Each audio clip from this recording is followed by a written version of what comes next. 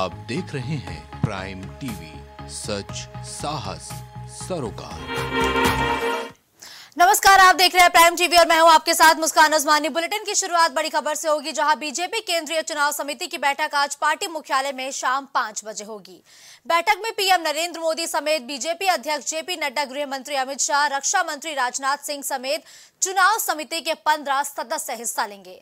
सामान्य तौर पर बीजेपी की केंद्रीय चुनाव समिति बीजेपी के संसद और राज्यों के चुनावों में उम्मीदवारों के नाम पर अंतिम मुहर लगाती है, लेकिन फ़िलहाल कोई चुनाव नहीं है। आगामी चार राज्यों के विधानसभा चुनाव में करीब ढाई से तीन महीने का समय बाकी है। ऐसे में सवाल उठता है कि अचानक से बुलाई गई बीजेपी केंद्रीय चुनाव समिति की बैठक का आखिर कारण क्या हो सकता है? बीजेपी सूत्रों के मुताबिक आज होने वाली केंद्रीय चुनाव समिति की बैठक में अहम और बड़े निर्णय लिए जा सकते हैं। इस बैठक में मध्य प्रदेश, छत्तीसगढ़, राजस्थान जैसे राज्यों में विधानसभा चुनाव के मद्देनजर राज्य की कमज़ोर सीटों को लेकर भी चिंतन मंथन हो सकता है। मध्य प्रदेश और छत्तीसगढ़ के डी और सी कैटेगरी की सीटों को लेकर भी आज पार्टी अहम फैसला ले सकती है। तो आज एक बड़ी बैठक शाम पाँच बजे होनी है, जिसमें पीएम नरेंद्र मोदी के साथ ही गृह मंत्री अमित शाह, जेपी नड्डा, रक्षा मंत्री राजनाथ सिंह मौजूद होंगे। बीजेपी की बड़ी बैठक में आज कई बड़े फैसले लिए जा सकते हैं, क्योंकि आगामी दो से तीन महीने बाद चार राज्यों में विधानसभा चुनाव है। उस विधानसभा चुनाव के लिए रणनीति तैयार की जा सकती है। छत्तीसगढ़, मध्य प्रदेश, राजस्थान में चुनाव होने हैं, जिसको लेकर आज भारतीय जनता पार्टी की बड़ी बैठक है और इस बैठक के दौरान मंथन भी किया जाएगा। विभांशु, इस खबर पर ज़्यादा जानकारी के लिए हमारे साथ इस वक्त लाइव जुड़ चुके हैं। देखिए, विभांशु, बीजेपी केंद्रीय चुनाव समिति की आज एक बड़ी बैठक है। इस बड़ी बैठक का कारण क्या है? आज किस तरीके से इस बैठक के ज़रिए मंथन होगा आगामी चुनाव को लेकर?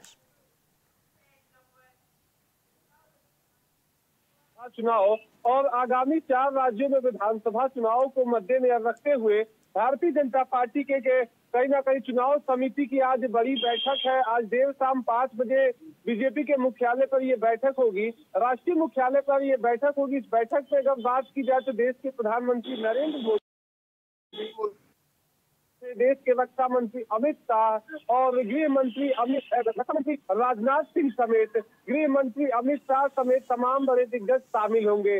अगर बात की जाए मुस्कान तो इसमें साफ़ तौर से देखा जाए तो आगामी दिनों में तेलंगाना, मध्य प्रदेश, राजस्थान और छत्तीसगढ़ में विधानसभा चुनाव है। और इस चुनाव के मद्देनजर रखते हुए कहीं ना कहीं देखा जाए तो लगभग तिरासी लोकसभा की सीटें यहाँ से आती हैं।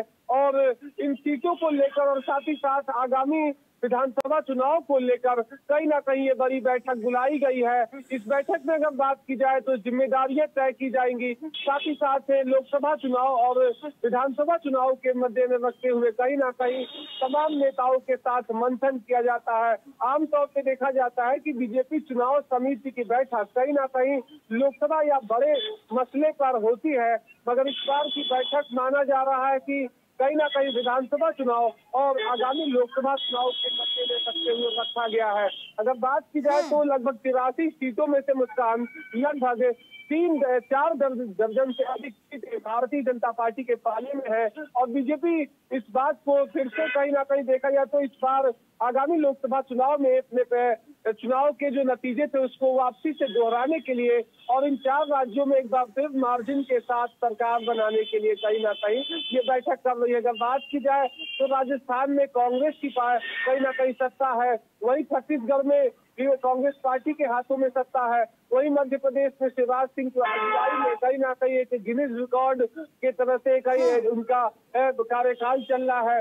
वही तेलंगाना में अगर बात की जाए तो टीएसआर अभी अगर हाल फ़िलहाल में सत्ता में है। तो बीजेपी कहीं ना कहीं तीन राज्यों में सत्ता में नहीं है। तो इन तीनों राज्यों में सत्ता में आने के लिए और साथ ही आगामी लोकसभा चुनाव को देखते हुए अपने जो भी 79 सीटें हैं माफ़ करिएगा तिरासी सीटें हैं उनको अपने पाले में करने के लिए एक रोड मैप तैयार करेगी।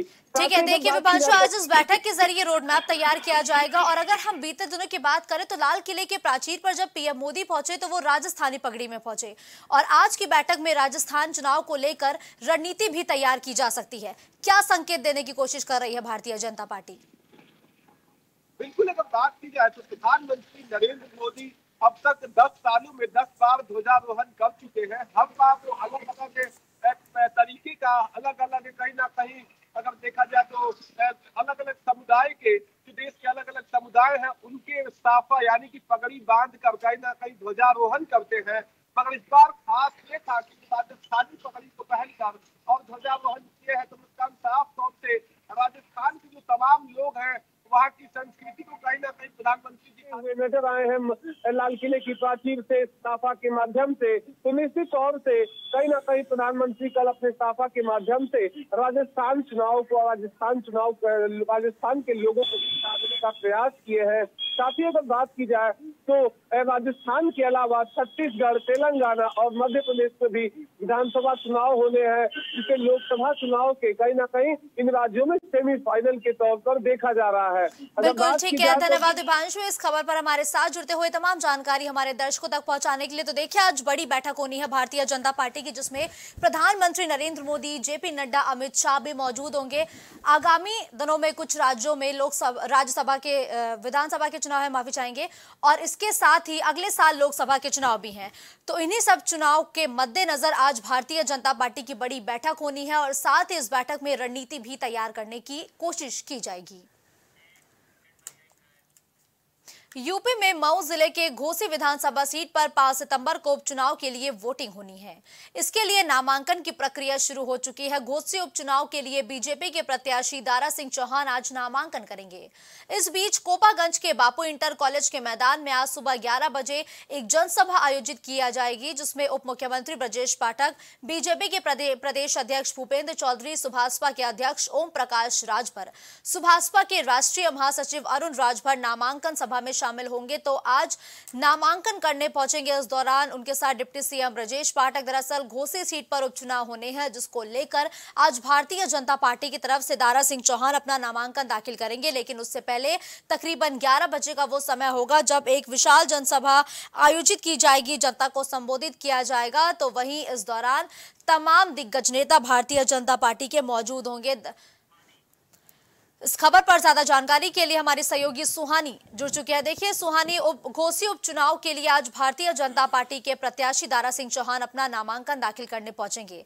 जब वो नामांकन दाखिल करने पहुँचेंगे तो उनके साथ भारतीय जनता पार्टी के कौन कौन से दिग्गज नेता मौजूद होंगे आज?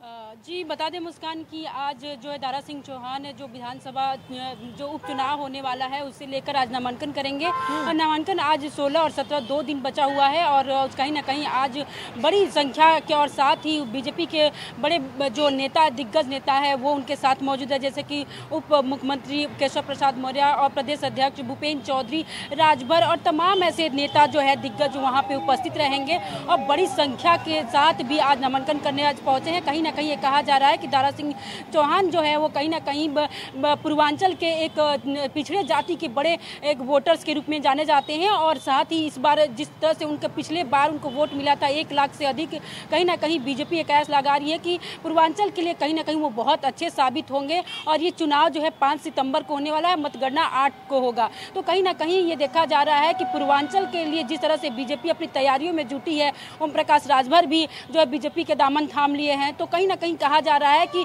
सपा, जिस तरह से सपा के दामन छोड़ के ये लोग बीजेपी के दामन अपना रहे हैं, इस बार सपा के लिए बहुत मुश्किल भरा हो सकता है, क्योंकि लोकसभा चुनाव के लिए सपा का ये पहली परीक्षा हो सकती है, क्योंकि जिस तरह से उपचुनाव होने वाला है, उसे ये कहा जा रहा है कि उपचुनाव कहीं ना कहीं ये जो लोक, जो दो हज़ार चौबीस का लोकसभा चुनाव है, उसका एक लिटमस पेपर होगा। तो देखा जा सकता है जिस तरह से घोसी का जब बात करें मुस्कान तो घोसी जो है, कहीं ना कहीं पिछड़े जाति के लिए बहुत बड़ा एक वोटर्स माना जाता है क्योंकि वहाँ पे जो पूरे वोटर्स की संख्या आपको बताएँ तो ये जो है चार लाख से ऊपर बताया जाता है और इसमें ज़्यादातर जो है मुस्लिम और चौहान यादव और राजभर है। तो कहीं ना कहीं ये जब कहा जा रहा है कि जो ओम प्रकाश राजभर और दारा सिंह चौहान इनके कहीं ना कहीं पिछड़ो जाति पर अच्छी कमांड है और इसको लेकर जिस तरह से बीजेपी तैयारी में है कहीं ना कहीं लोकसभा चुनाव के लिए अच्छा साबित हो सकता है और वही देखिए सुहानी जब दारा सिंह चौहान का ज़िक्र होता है तो बसपा से भारतीय जनता पार्टी भारतीय जनता पार्टी से सपा, फिर सपा के बाद फिर से एक बार भारतीय जनता पार्टी। ऐसे में क्या माना जाए कि इस बार का ये जो उपचुनाव है, ये ये विपक्षी दलों के समूह, आई का लिटमस टेस्ट होगा क्या?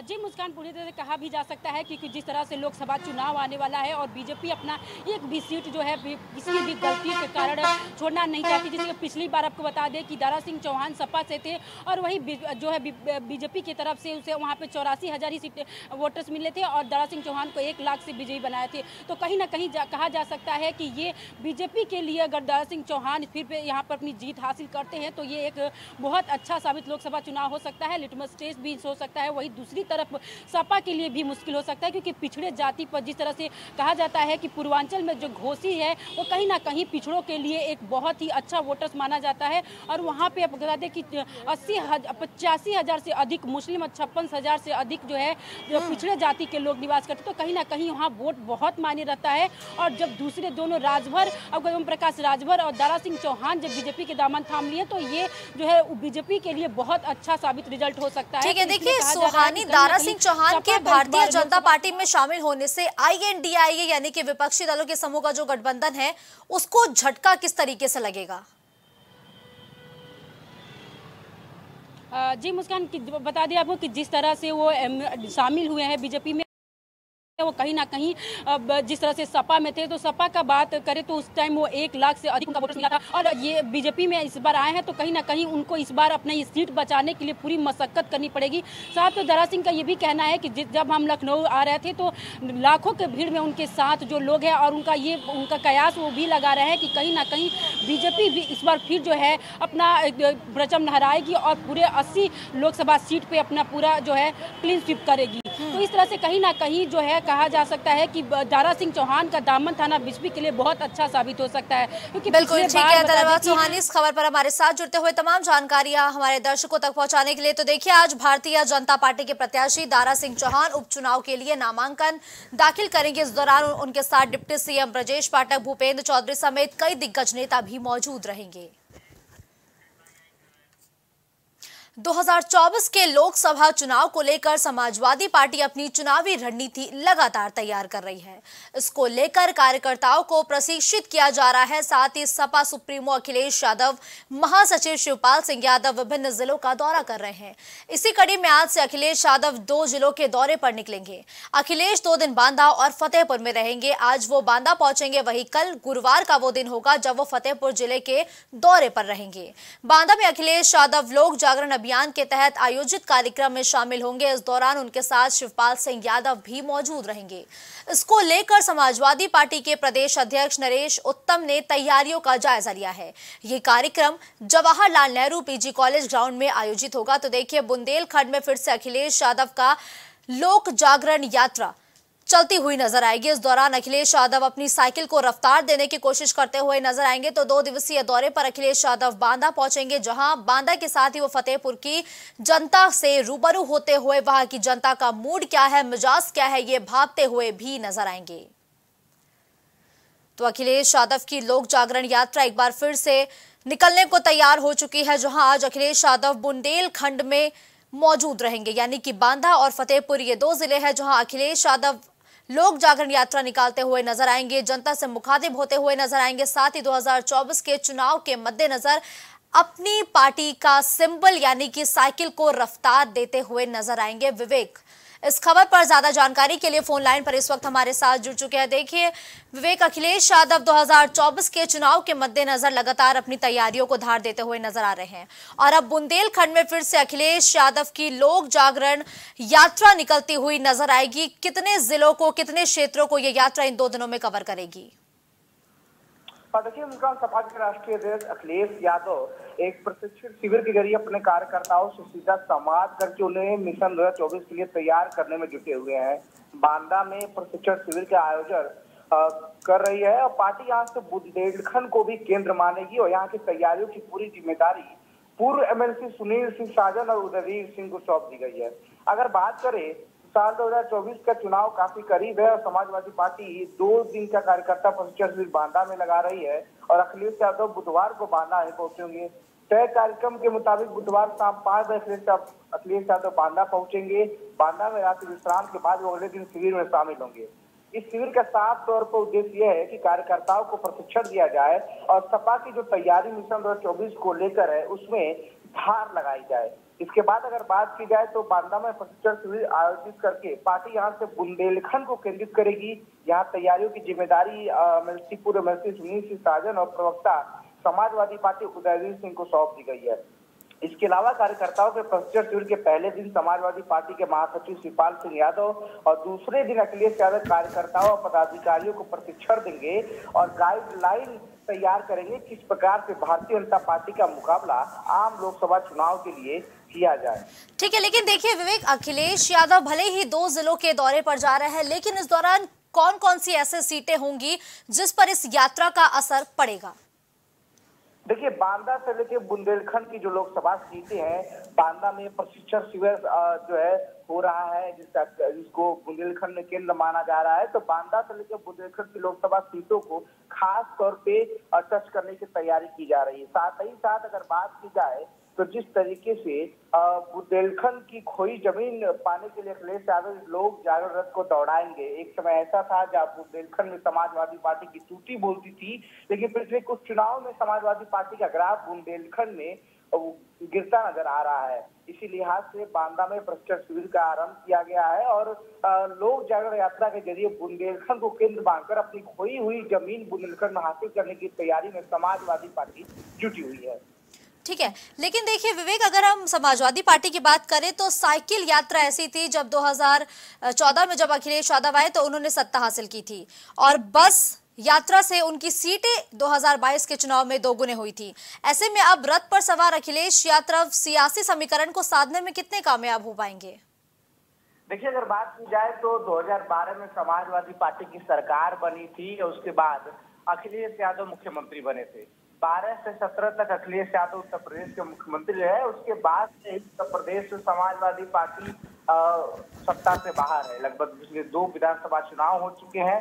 समाजवादी पार्टी सत्ता से बाहर है। लेकिन अगर देखा जाए तो लगातार लोकसभा चुनाव हो या विधानसभा चुनाव हो, पिछले विधानसभा चुनाव में हमने देखा कि पार्टी का वोट परसेंटेज पहले से ज़्यादा बढ़ा हुआ है। और इस बार जिस तरीके से लगातार लोक जागरण यात्रा या फिर साइकिल यात्रा इन तमाम अभियानों को अखिलेश यादव लीड करते हुए नज़र आ रहे हैं। तो साफ़ तौर पे ये संदेश दिया जा रहा है कार्यकर्ताओं को पदाधिकारियों को उनको मोटिवेट करने के लिए कि समाजवादी पार्टी अपना विस्तार कर रही है। बिल्कुल ठीक है धन्यवाद विवेक इस खबर पर हमारे साथ जुड़ने के लिए।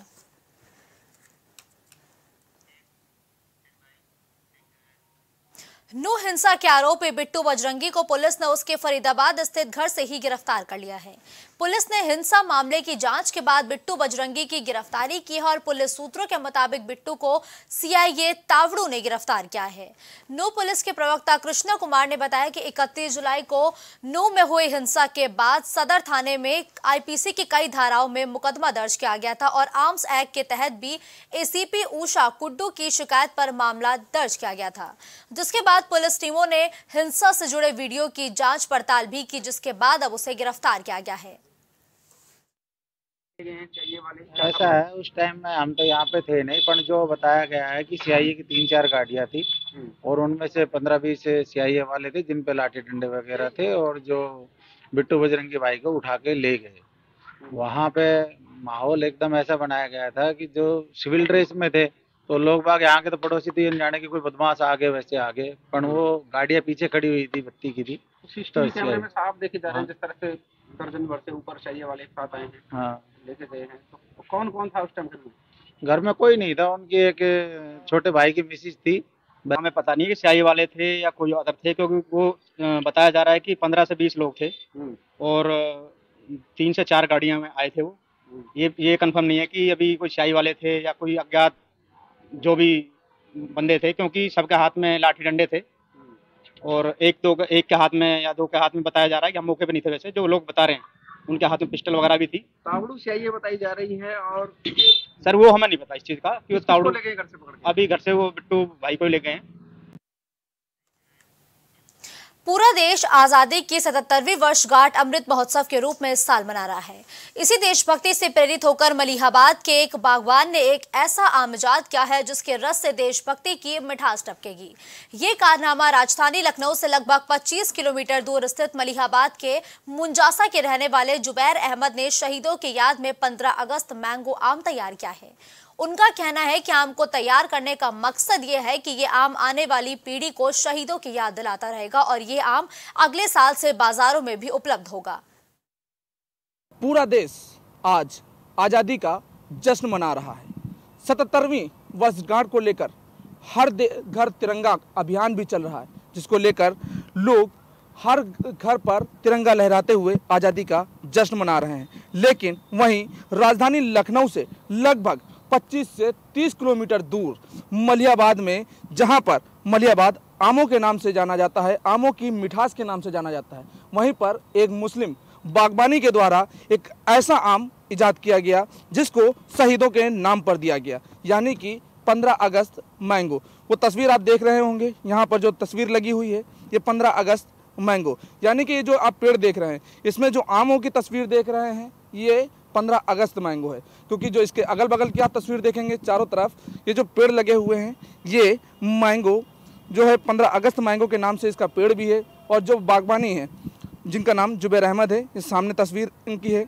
आखिर जो बात की जाए 15 अगस्त नाम ही जो दिया गया इस मैंगो को, इसके पीछे कहानी क्या कुछ है, वो खुद इनकी जुबानी सुनेंगे। ये बताइए जुबैर जी, जिस तरीके से शहीदों की याद में आपके द्वारा ये एक नया ईजाद किया गया। 15 अगस्त मैंगो इसके पीछे की कहानी क्या है? सर, में ये जो है मलियाबाद में आम बागवान तो मशहूर ही है। तो हम लोग आम का बागवान भी है और नर्सरी का भी काम भी करते हैं। लेकिन ये कि हमने बहुत दिन से ये सोच रहे थे कि कुछ शहीदों का ऐसा काम करें। भाई, हम लोग बागवान हैं। बागवान है तो यही कुछ कर सकते हैं, आम ही निकाल सकते हैं ईजाद कर सकते हैं या कुछ और इसी नाम से, और जैसे पेंटर है, कोई कोई अपने ज़रिए, पेंट के ज़रिए वो करता है, कुछ तो हम लोग बागवान हैं तो आम एक हमने सोचा बहुत सालों सोच रहे थे कि ऐसा काम करें कि कुछ शहीदों की याद दिलाने दिलाएँ। आ, ये बताइए जुबैर जी जो शहीदों के नाम पे आम की बात कर रहे हैं हाँ। तो आखिर ये 15 अगस्त मैंगो ही क्यों? क्या इसकी पैदावार अगस्त में होती है? या फिर जैसे अदर आमों की बात की जाए मई जून तक तैयारी हो जाती है इसमें क्या कुछ खास है? इसमें ये 15 अगस्त के बाद ही जो है इसका आम खाने वाला होता है। इसके जो है वो करीब सितंबर में आम पकने लगता है।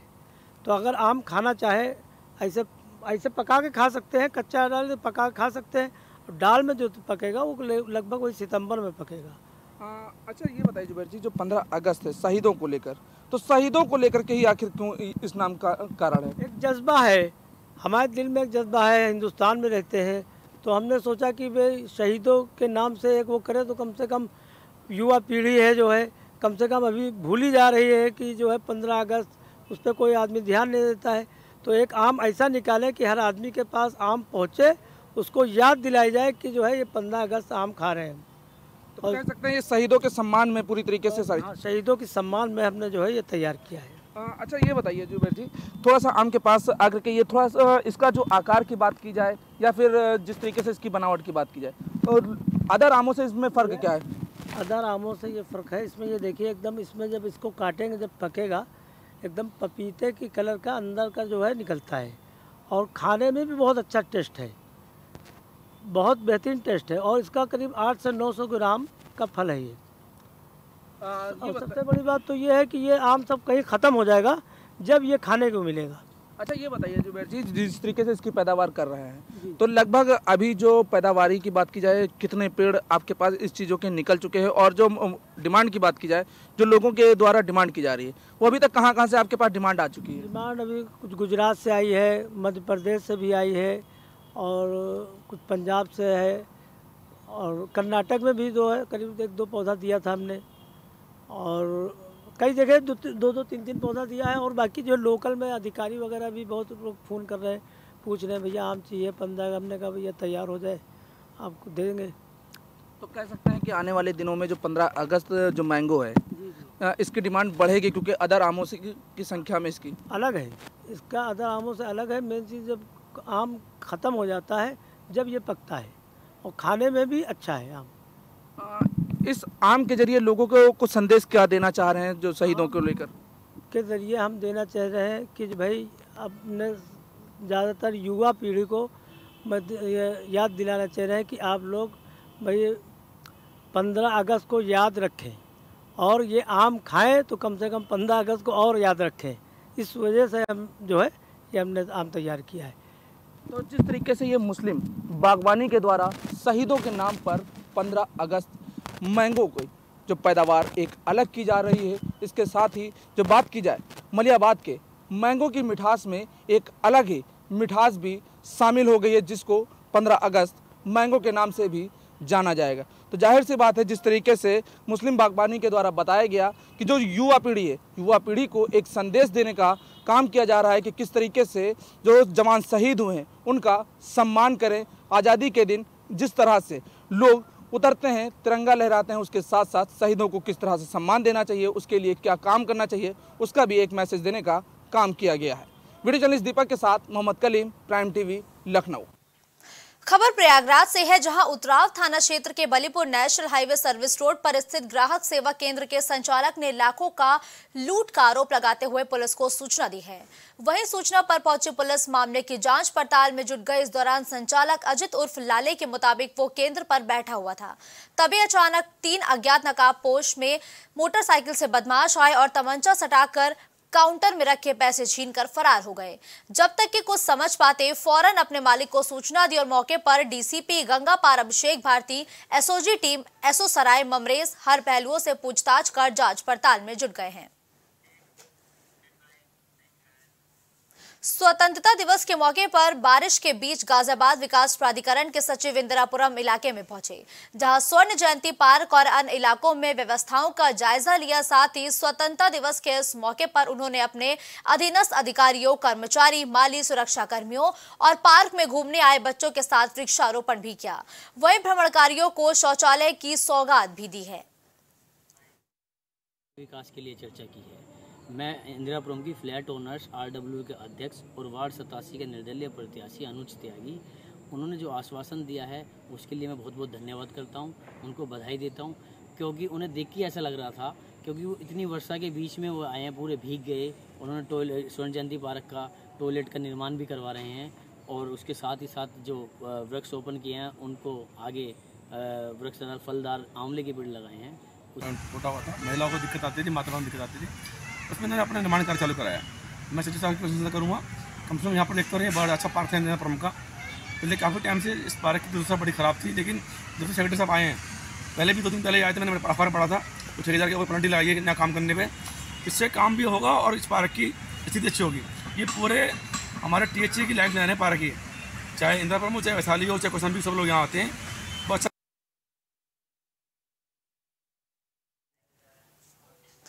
खबर हरदोई से है जहाँ बेहटा गोकुल इलाके में अधेड़ का शव खेत की झाड़ियों में पड़ा मिला है, जिसके शरीर पर चोट के गंभीर निशान मिले, जिसमें परिजनों ने ही गाँव के लोगों पर हत्या करने का आरोप लगाए हैं। हादसे के बाद से परिजनों का रो रो कर बुरा हाल है। सूचना पर पहुँची पुलिस ने शव कब्जे में लेकर पोस्टमार्टम के लिए भेज दिया है और मामले की जाँच पड़ताल में जुट गई है। बता दें कि बेहटा गोकुल थाना क्षेत्र का पूरा मामला है। हो गया है, जब गए थे थान, वो मोबाइल चोरी हुआ तो बताया कि मैं जा रहा हूँ वो करके आऊँगा। एफ़ आई आर तो ये बोले जिसने इनका मोबाइल लिया कि तुम जाओगे वहाँ पे करने तुम तो अपनी पीठी पोड़ी कर लेना। ये बात इसने शाम ताऊ ने शाम को बताई कि ये बता कहा था मेरे से और मैं एफ़ आई आर करके आया हूँ। और उसके बाद में कहा कहीं मेरे साथ कोई हादसा हो जाए तो इन्हीं को समझना। किसको? ये हरिओम।